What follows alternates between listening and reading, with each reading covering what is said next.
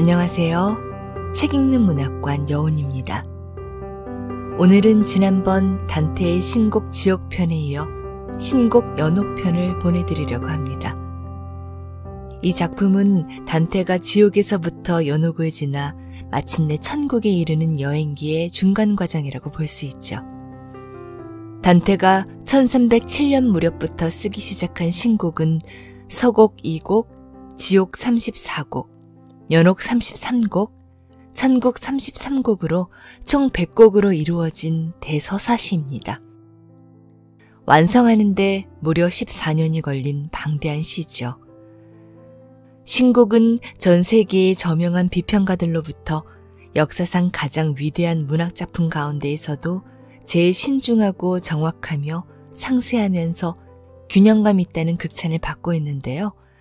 작품 속 등장인물과 이야기가 시간의 연속성과 시적 구조의 불변성에 따라 단 하나의 모순 없이 완벽하게 연결되어 있는 걸작입니다. 단테는 35세가 되던 해 어두운 숲속을 헤매다가 맹수들에게 앞을 가로막혀 절망에 빠져 있습니다.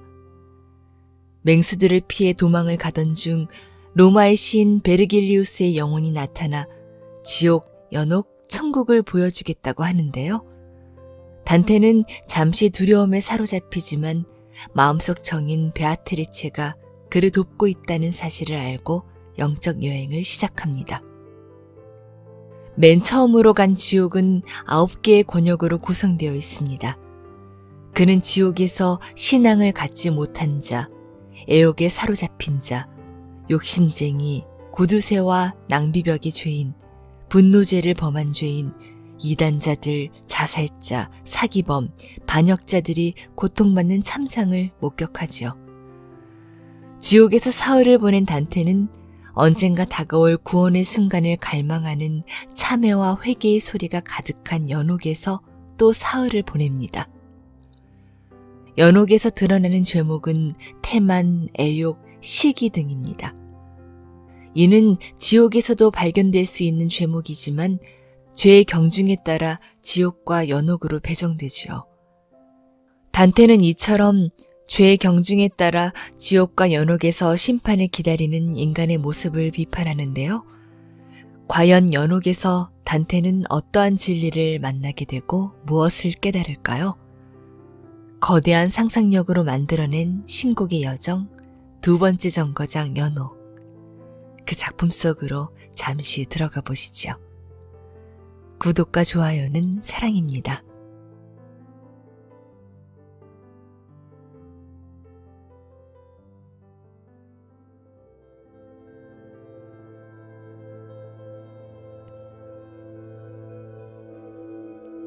신고 연호 단테 알리기에리 지음. 이시연 옮김. 발행 더 클래식.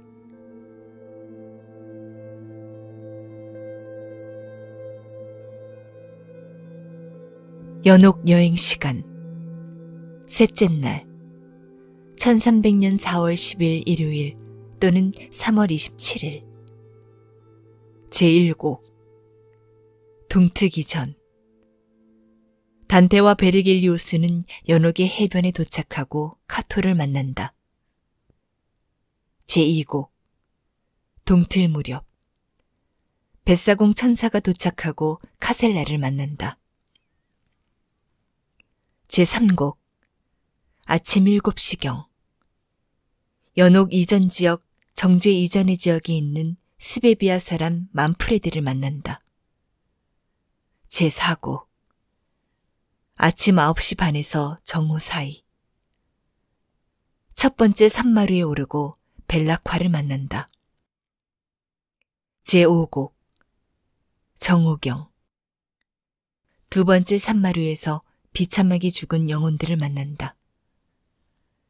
제6, 7곡 정오에서 오후 3시 사이 소르델로를 만난다. 제7곡. 오후 4시에서 6시 사이. 태만한 영혼들의 계곡 입구에 있다. 제8곡.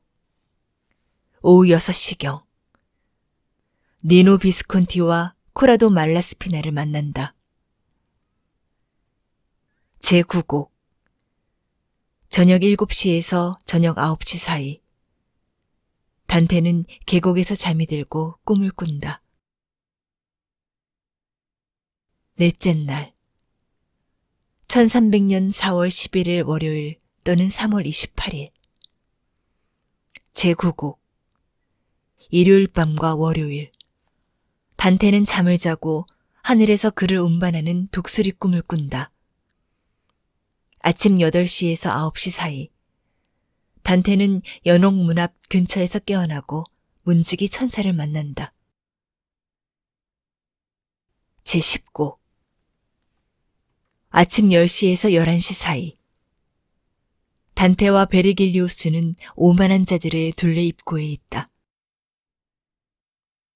제11곡 아침 11시에서 정오 사이 구비오 출신 오데리 씨를 만난다. 제12곡 정오. 교만의 벌의 예들을 보고 시기한 자들의 두 번째 둘레 입구에 도착한다. 제13곡 14곡. 이른 오후 시간. 시에나 사람 사피아와 귀도를 만난다. 제15, 16곡.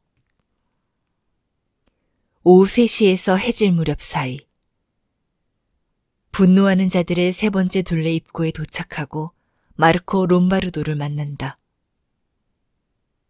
제17곡 해질 때 나태한 자들의 네 번째 둘레 입구에 도착한다. 제18곡 저녁에서 자정 사이 나태한 자들을 만나고 성제노의 수도원장을 만난다. 단테가 졸음에 빠진다. 다섯째 날 1300년 4월 12일 화요일 또는 3월 29일. 제19곡. 월요일 밤에서 화요일 사이. 단테는 세일엔의 꿈을 꾼다. 제19, 20곡. 이른 아침 시간. 단테는 잠에서 깨어나 베르길리우스와 함께 탐욕의 다섯 번째 둘레에 도달하고 교황 하드리아누스 5세와 위극 카페를 만난다. 제21, 22곡 10시에서 11시 사이 다섯 번째 둘레에서 스타티우스를 만난다. 제23, 24곡 이른 오후 탐식의 여섯 번째 둘레 입구에 도착하고 포레세 도나티와 보나준타를 만난다. 제25, 26곡 오후 2시에서 해질 무렵 음욕의 일곱 번째 둘레 입구에 도달하고 균니첼리와 아르노를 만난다. 제27곡 해질 무렵과 이른 밤 사이 불꽃의 벽을 세 명의 시인이 통과한다. 단테는 낙원으로 인도하는 계단에서 잠이 든다. 여섯째 날 1300년 4월 13일 수요일 또는 3월 30일 제27, 28곡 화요일 밤에서 수요일 사이 단테는 잠이 들고 레아를 꿈꾼다. 동틀 무렵 단테는 잠에서 깨어나고 낙원에 입구로 가다가 마텔다를 만난다. 제29, 30곡 이른 아침 시간 단테는 상징적인 행렬에 참석하고 베아트리체를 만난다. 제31, 32곡 늦은 아침 시간 베아트리체의 질책 후 단테는 새로운 상징적인 행렬에 참석한다. 제33곡 정오 레테강과 에오누에 강에서 침례를 받은 후에 단테는 깨끗해지고 별로 오를 준비가 된다.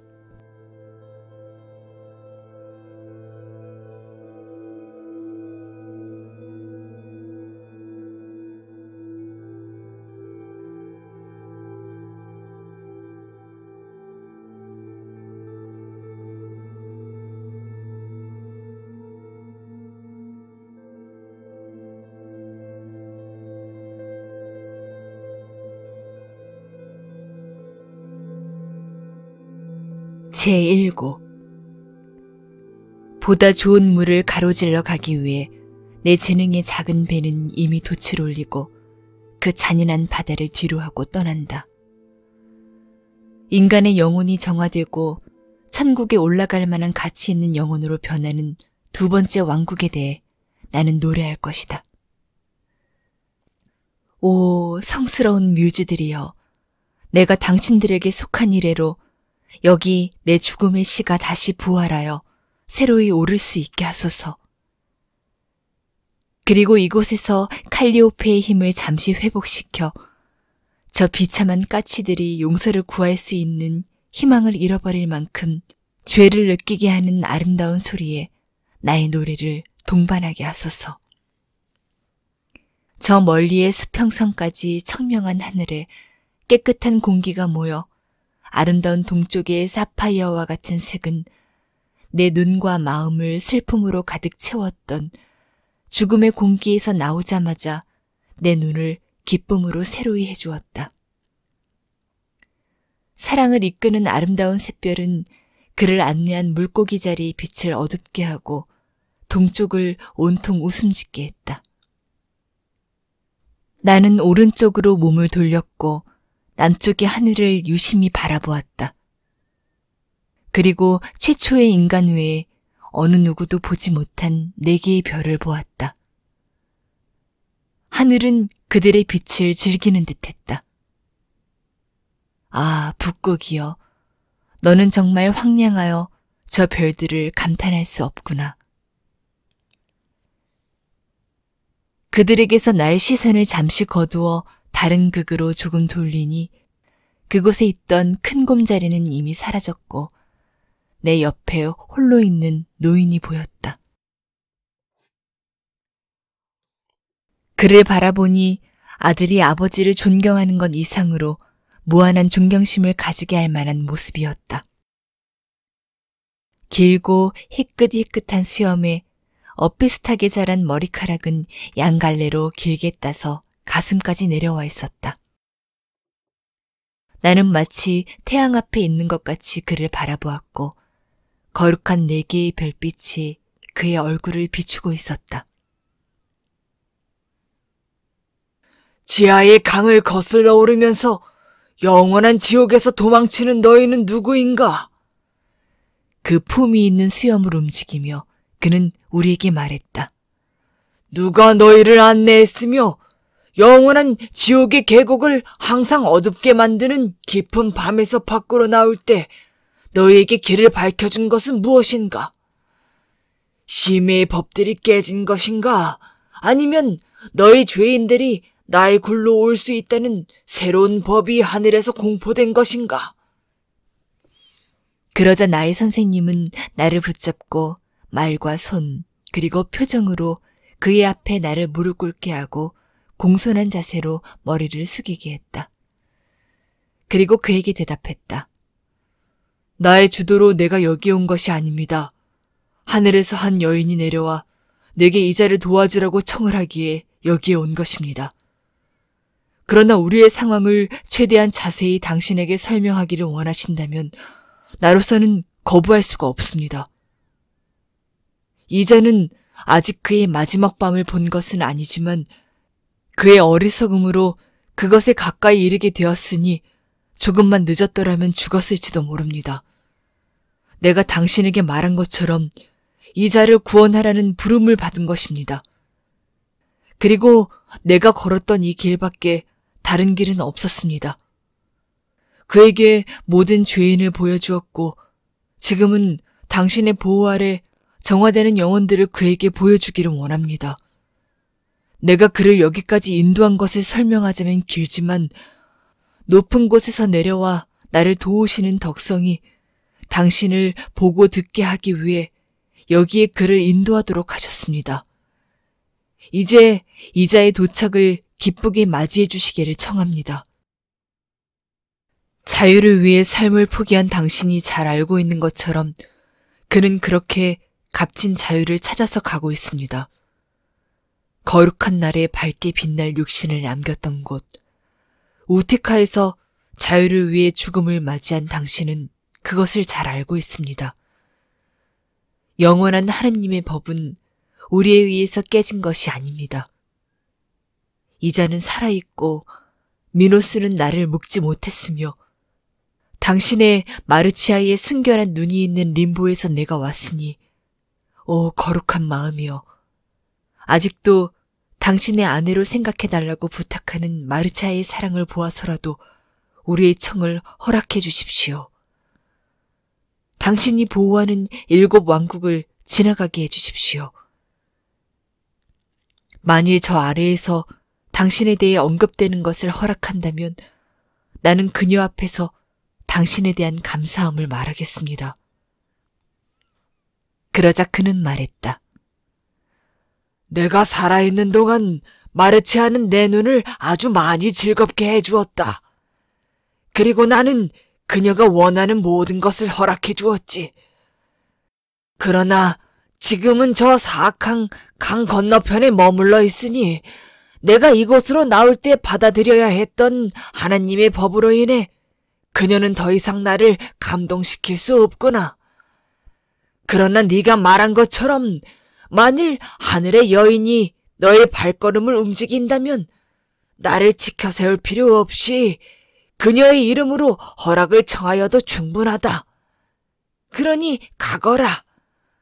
매끄러운 갈대로 이자의 허리에 끈을 메어주고 얼굴을 씻어주어라. 모든 불결한 것을 그에게서 없애버려라. 안개로 가려진 눈으로 천국의 첫 번째 사자 앞에 갈 수 없으니 말이다. 이 작은 섬 주변의 파도가 부딪히는 가장 낮은 곳에서 부드러운 흙 위에 자라고 있는 갈대를 찾을 수 있을 것이다. 생명이 있는 다른 수목은 없다. 잎사귀를 피우거나 단단해지면 파도에 부딪혀도 굽혀지지 않아 부러지기 때문이다. 그러고 나서 너희는 이곳으로 돌아오지 마라. 이미 떠오른 태양은 산 위로 오르는 쉬운 길을 너희에게 보여줄 것이다. 이렇게 그는 사라졌다. 나는 어떠한 말도 없이 일어나서 나의 길잡이를 향해 시선을 돌려서 가까이 갔다. 아들아, 내 뒤를 따라와라. 뒤로 돌아가자. 여기 이곳의 바닥이 가장 낮은 곳으로 향해 기울어져 있구나. 여명은 그 앞에서 벌써 도망가는 밤의 마지막 시간을 압도하고 있었다. 이렇게 멀리서 바다의 표면이 일렁이는 것을 보였다. 헛된 발걸음이라고 믿은 사람들이 잃어버린 길을 다시 찾는 것처럼 우리는 그 긴 외로운 평야를 걸었다. 그늘진 곳에 있어 태양과 싸워도 이슬이 별로 쓰러지지 않는 곳에 이르자 선생님은 손바닥을 편 두 손을 부드러운 풀밭 위에 살포시 놓았다. 그분의 의도를 깨달은 나는 아직도 눈물로 더러워진 나의 볼을 그를 향해 돌렸고 그는 지옥의 안개가 어둡게 한 내 얼굴의 색을 드러내 주었다. 그곳은 항해한 적도 없고 물에 갔다가 되돌아올 수 있는 자도 없었다. 거기서 그분이 원하는 것 같이 선생님은 갈대로 내게 띠를 메어 주었다. 얼마나 놀라운가. 선생님이 선택된 겸손한 식물을 꺾자 바로 같은 자리에서 다시 자라났다.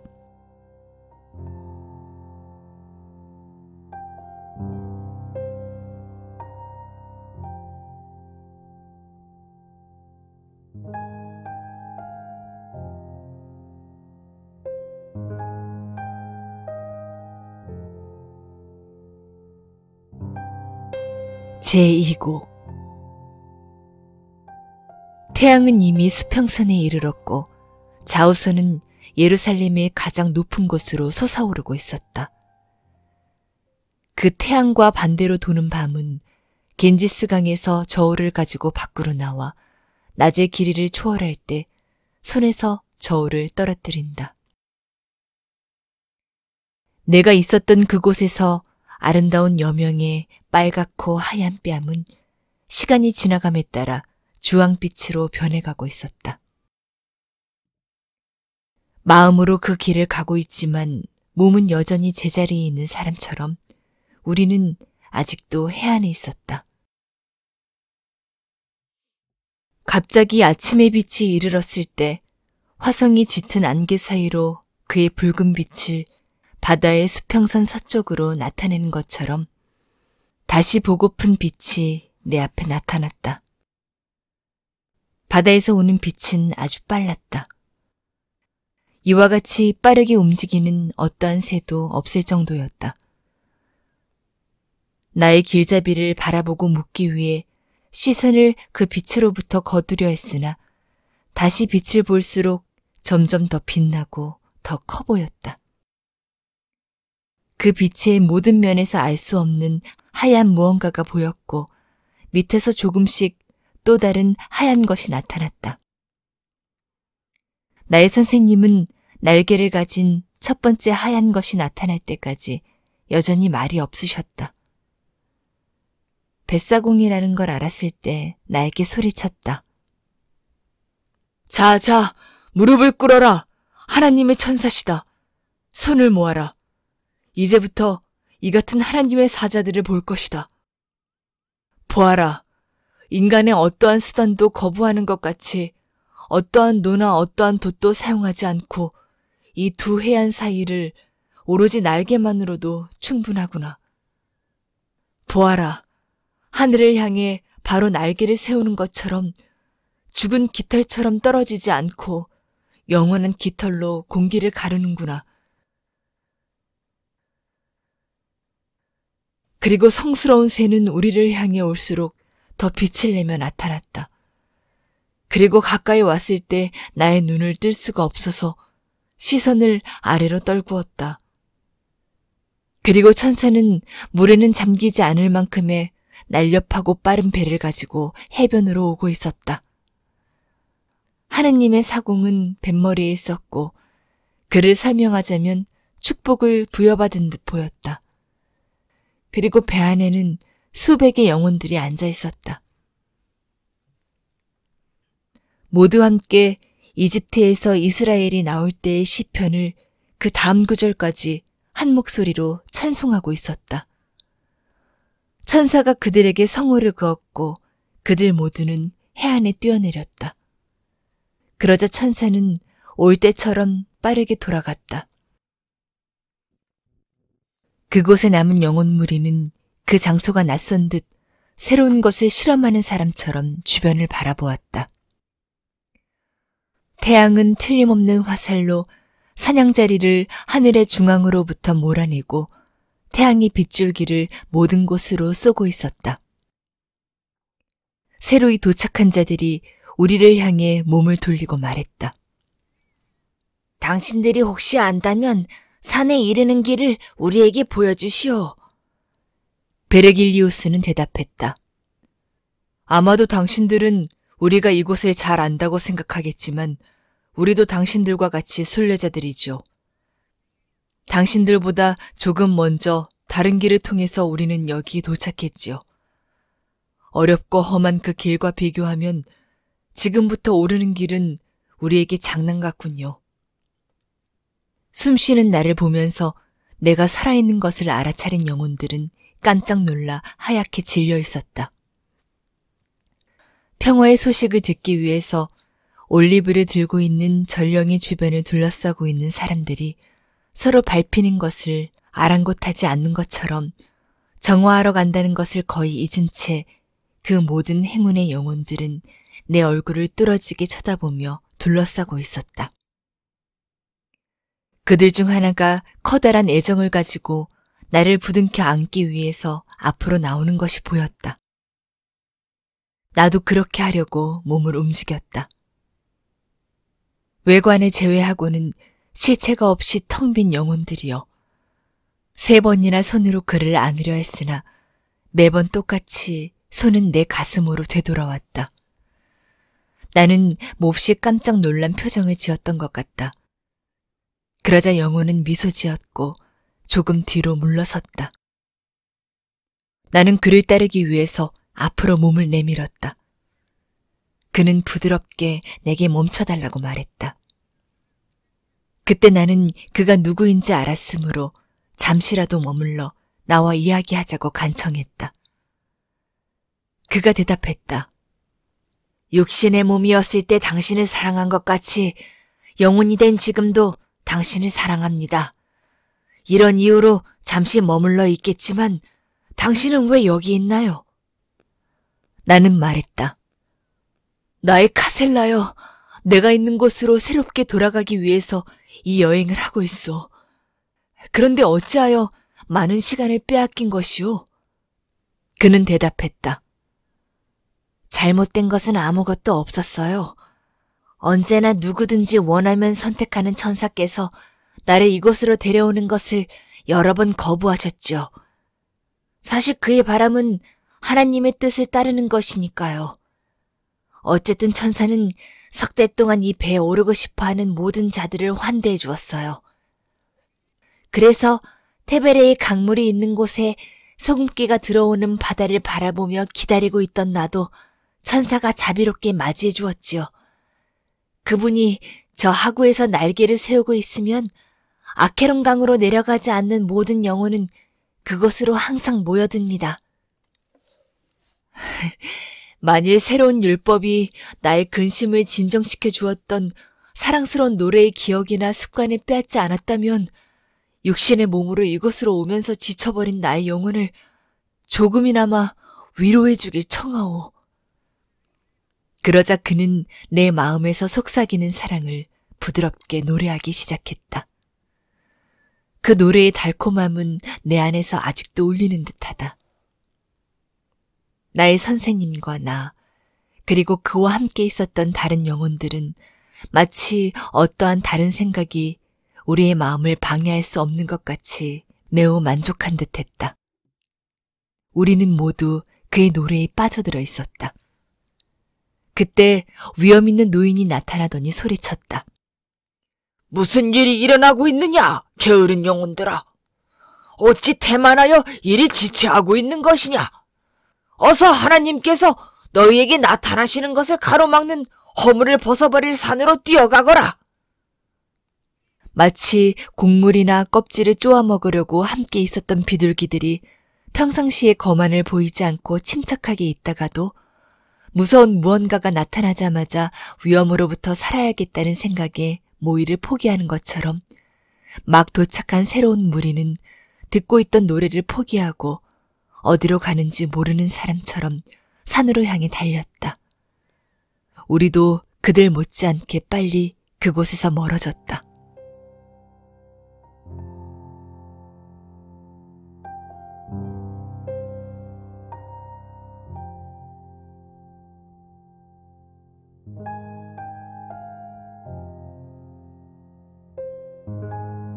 제3곡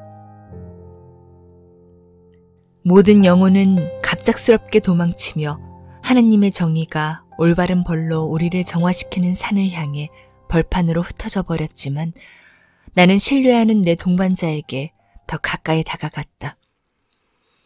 그 없이 어떻게 뛰어갈 수 있겠는가? 누가 날 산 위로 오르게 인도하겠는가? 그는 양심의 가책을 받은 듯 보였다. 오, 위험있고 깨끗한 양심이여. 하찮은 허물도 당신에게는 견디기 어려운 후회로군요. 모든 행동에서 위험을 깎아내리는 성급함이 그의 발걸음에서 떠났을 때 오로지 한 생각만으로 좁아졌던 내 정신은 새로운 것을 알고 싶다는 열망으로 넓혀졌고 나의 시선을 다른 어떤 것보다 더 높게 바다에서 하늘로 솟은 산을 향해 돌렸다. 내 뒤로 붉게 빛나는 태양은 그 광선을 방해하는 내 몸으로 인해 내 앞에서 부서져 버렸다. 바닥의 검은 그림자가 오직 내 앞에 있는 것을 보았을 때 난 버려진 것이 아닌가 하는 두려움으로 옆을 돌아보았다. 나의 위안이신 분이 돌아보며 내게 말했다. 왜 아직도 믿지 않느냐? 내가 널 인도하려고 너와 함께 여기 있는 것을 믿지 않는 것이냐? 내가 만든 그림자의 육신이 묻힌 저곳은 이미 저녁이 되어간다. 전에 브린디시에 있었던 나의 육신은 지금 나폴리에 묻혔다. 지금 내 앞에 그림자가 없다고 너무 놀라지 말아라. 어떤 하늘도 빗줄기의 통로를 여기저기 방해하지 않는다. 하느님의 권능은 우리의 몸이 뜨겁거나 차가운 것에 의해 고통을 느끼게 하셨다. 그리고 어떻게 그것을 했는가에 대해 우리에게 드러내지 않으신다. 하나의 존재에 새 위격을 내포하고 있는 무한한 길을 우리의 이성이 통과할 수 있기를 바라는 자는 미친 것이다. 인간들이여, 너희에게 보이는 그대로 만족하여라. 만일 모든 것을 볼 수 있었다면 마리아는 아이를 낳지 않았을 것이다. 그리고 아는 것에 만족할 수 있는 사람들이 헛되게 열망하는 것을 너희는 보았을 것이니 그 열망들은 영원한 벌로 바뀔 것이다. 아리스토텔레스, 플라톤, 그리고 다른 많은 사람에 대해 내가 하는 말이다. 이렇게 말한 후 선생님은 고개를 숙이고 더 이상 말을 하지 않고 혼란스러운 듯 했다. 그러면서도 우리는 산 밑에 도착하였다. 그 산을 오르려고 열심히였던 다리가 쓸모가 없을 정도로 가파른 암벽이었다. 가장 황량하고 가장 경사가 심하다고 하는 레리치와 투르비아 사이의 경사도 이것에 비하면 오르기 쉬운 암벽과 널찍한 계단 같았다. 나의 선생님은 발걸음을 멈추며 말했다. 날개 없는 자가 오르기에 어느 벽이 덜 가파른지 누가 알겠는가. 선생님이 고개를 숙이고 갈 길을 헤아리는 동안 나는 암벽 주위의 높은 곳을 바라보았다.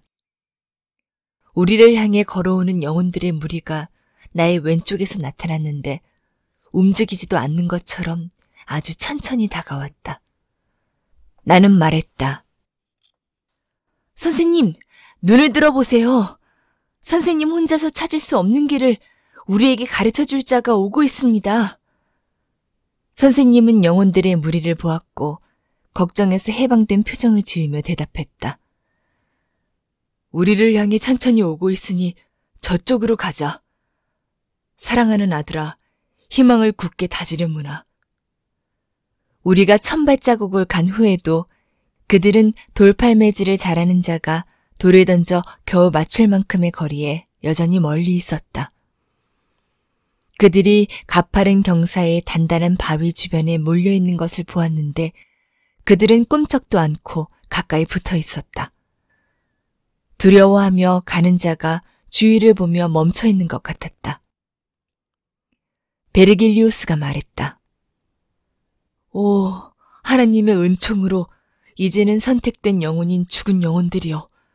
당신들 모두를 기다리는 평화의 이름으로 우리가 오를 수 있는 산의 완만한 곳이 어디인지 말해주시오. 아는 것이 더 많은 자일수록 시간 낭비를 덜하지 않겠습니까? 한 번에 한 마리, 두 마리, 세 마리씩 작은 양 우리에서 나오는 양들같이 나머지는 멈춰 두려움에 떨며 코와 눈은 땅에 박고 있다가 앞선 양에게 바싹부터 앞선 양이 하는 것을 따라하며 멈추면 단순하고 온화한 양들까지 그 행동을 하는 이유도 알지 못하고 멈추는 듯 했다. 정숙한 얼굴과 고귀한 움직임으로 행복한 영혼의 무리의 선두가 우리를 향해 오는 것이 보였다. 선두의 영혼들이 바닥에 태양의 빛이 부서져 내 오른쪽으로 나의 몸에서부터 암벽까지 걸치는 그림자가 형성된 것을 보더니 그들은 멈춰섰고 뒤로 주춤거리며 약간 물러났다. 그리고 그들 뒤로 오던 나머지 모든 무리도 왜 그렇게 하는지 알지 못한 채 똑같이 주춤거리며 약간 물러났다. 내게 질문할 것 없이 당신들에게 바로 말하겠소. 당신들이 보는 이 육신은 살아있는 것이오. 태양의 빛이 땅에 부서지는 것이오. 그러니 놀라지 마시오.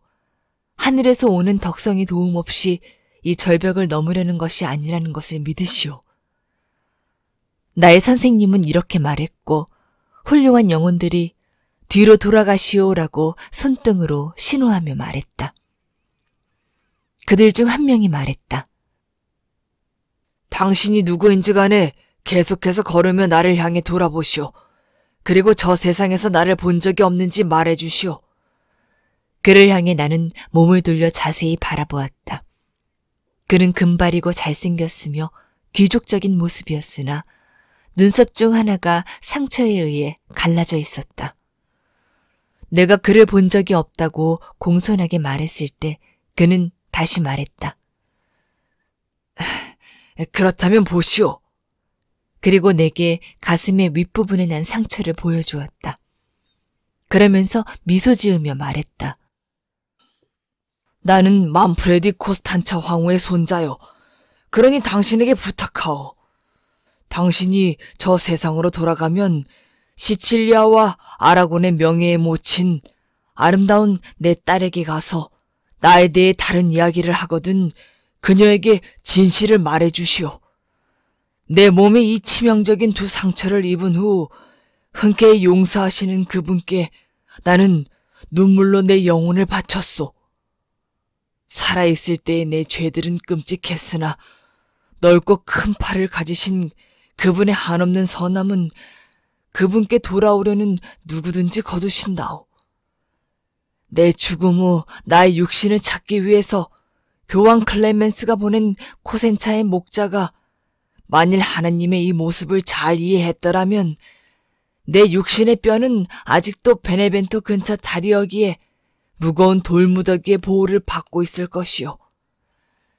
내 육신의 촛불이 꺼진 상태로 옮겨져 지금은 베르데강 근처에서 피해졌고 내 왕국 밖에서 불어오는 바람에 흩날리고 있어. 희망이 한 가닥 푸름을 지니고 있다면 파문의 저주에도 영원한 사랑은 돌아올 수 없지는 않을 것이요. 성스러운 교회에서 파문당해 죽은 자는 죽을 때 회개한다 하더라도 살아있을 때 오만한 고집을 부린 시간에 30배를 이 절벽에 밖에 서 있어야 하오. 성스러운 기도의 덕으로 이 규정이 시간을 단축시킨다면 모르겠소만. 아직도 올라가는 것이 금지된 내 처지를 당신이 본대로 나의 선한 코스탄차에게 알려주어 당신이 날 기쁘게 할 수 있는지 생각해 보시오. 여기서는 세상 사람의 기도를 통해 많은 것을 얻는다오.